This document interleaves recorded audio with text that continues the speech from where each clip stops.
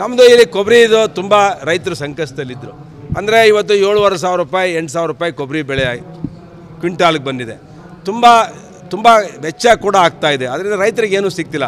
ಈ ಬರಗಾಲದಲ್ಲಿ ಕೂಡ ಇದೊಂದು ದೊಡ್ಡ ಹೊಡೆತ ಬಿದ್ದಿದೆ. ತುಮಕೂರು ಜಿಲ್ಲೆಯಲ್ಲ, ಇಡೀ ಕರ್ನಾಟಕದಲ್ಲಿ ಹದಿನೆಂಟು ಜಿಲ್ಲೆಯವರಿಗೆ ಈ ಸಮಸ್ಯೆ ಇತ್ತು.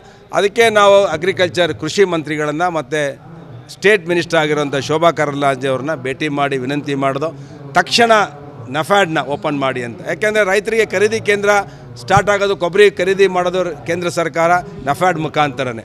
ಅದರಿಂದ ಅದು ಓಪನ್ ಮಾಡಿದ್ರೆ ಜನವರಿ ತಿಂಗಳಲ್ಲಿ ಅಟ್ಲೀಸ್ಟ್ ರೈತರು ಒಂದು ಏಳುವರೆ ಸಾವಿರ ರೂಪಾಯಿ ಇರೋದನ್ನ ಹನ್ನೆರಡು ಸಾವಿರ ರೂಪಾಯಿ ಹಣ ಸಿಗುತ್ತೆ. ಅದರಿಂದ ಅವ್ರಿಗೆ ಒಂದು ಉಸಿರು ಬಿಡೋಂಗಾಗುತ್ತೆ. ಈ ಕಡೆ ರಾಗಿ ಬೆಳೆನೂ ಕೈ ಕೊಟ್ಟಿಲ್ಲ, ಶೇಂಗಾ ಸಿಕ್ಕಿಲ್ಲ, ಏನೂ ಸಿಕ್ಕಿಲ್ಲ. ಕಾಯಿಯಲ್ಲೂ ಐದು ಪೈಸ ಇಲ್ಲ ರೈತರಿಗೆ. ಒಂದು ರೂಪಾಯಿ ಕೆಲಸನೂ ಸರ್ಕಾರದಲ್ಲಿಲ್ಲ. ಅದರಿಂದ ರೈತರು ತುಂಬ ಕಷ್ಟದಲ್ಲಿದ್ದಾರೆ.